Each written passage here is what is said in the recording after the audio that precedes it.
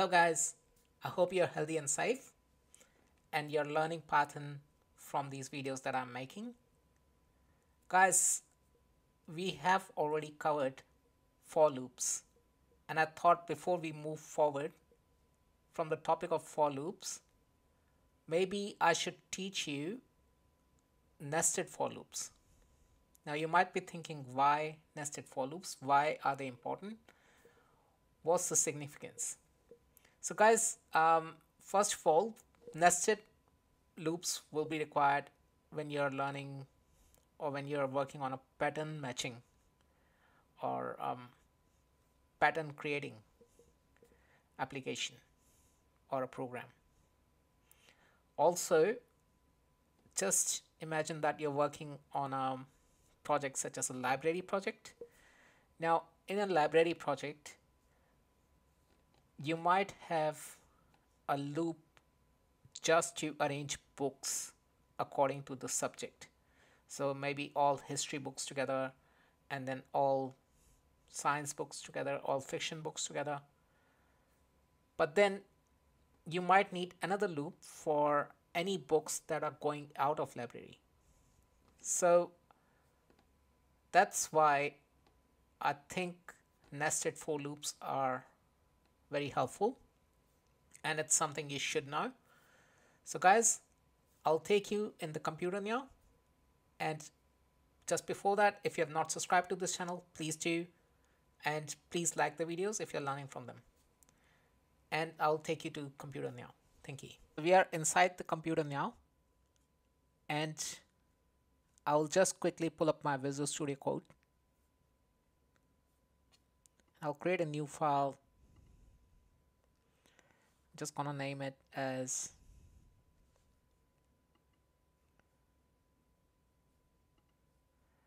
we'll save it as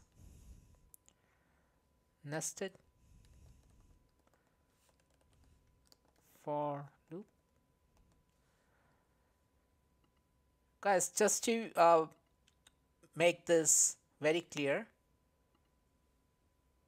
it's not that only for loops can go inside for loops. You can nest a for loop inside a while loop as well. You can also put a while loop inside a for loop as well. And obviously you can do two for loops as well. So it's not just limited to two for loops. Now I'll show you um, what I want to explain in this video is how they actually work and in the next video I'll create some patterns for you. However in this video it's very important that we understand how nested for loops actually work. So let's say I'll create two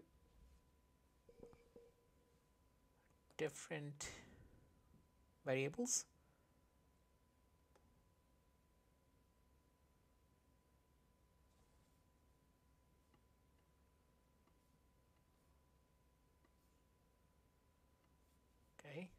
So I'm just gonna say for or instead of a I'll just say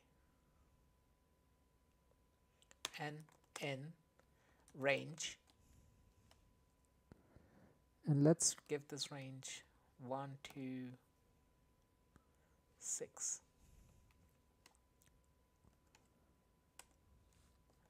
then for i in range let's start this range from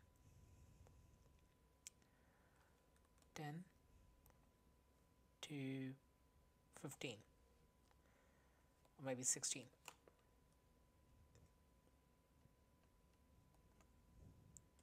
and then I'm just gonna say print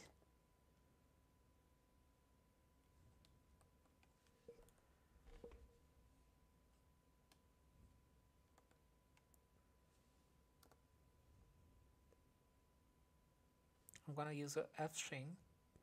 And I'm just saying for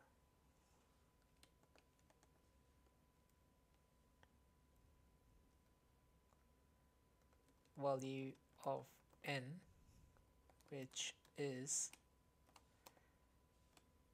n the value of i is i.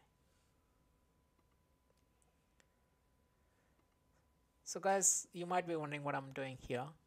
So first of all, I've created a for loop and I'm running this n inside this range of integers.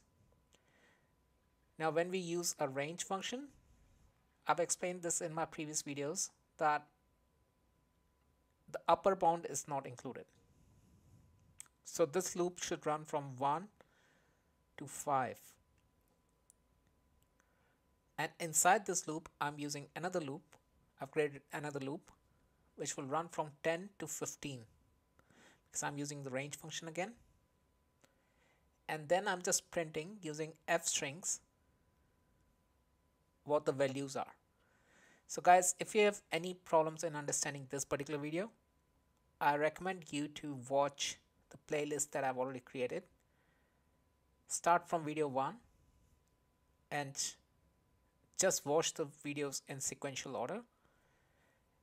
And you will learn everything about f strings. You will know what range is how we use ranges with for loops and a lot of other things as well and we have created some small projects as well. So I recommend you to watch the playlist if you're not following it and please practice. And if you are new to this channel please subscribe as well. So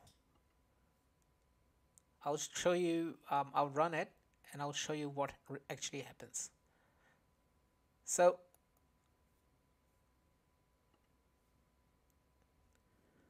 you can see here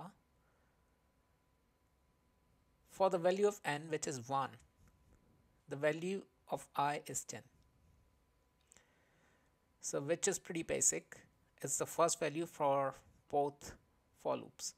But then if you look at the second iteration it says for the n value of n which is 1 still so that hasn't changed. The value of i is 11 and then third iteration is still 1 the value of n is still 1 and the value of i is now 12 fourth iteration the value of n is still 1 and then it's 13 which is the value of i.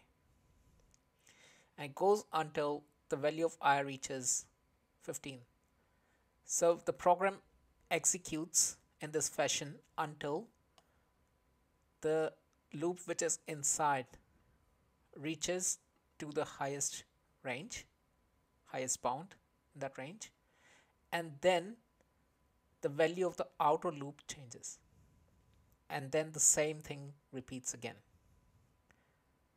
So you can see the value of inner loop is changing. So the value of i is changing in each iteration.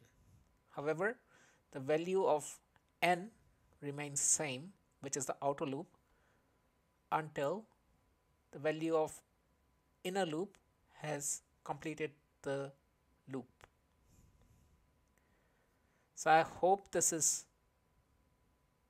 something you have understood because as I said it is a very important concept especially when you are making a pattern in Python. So guys I'll be creating some patterns in next video and if you have not subscribe please subscribe to the channel but make sure you're practicing this and I highly recommend that you practice this particular video or this particular tutorial on your computer as well so you get the basic understanding of how nested loops really work. I will be meeting you in future videos. Keep watching, stay safe, stay healthy.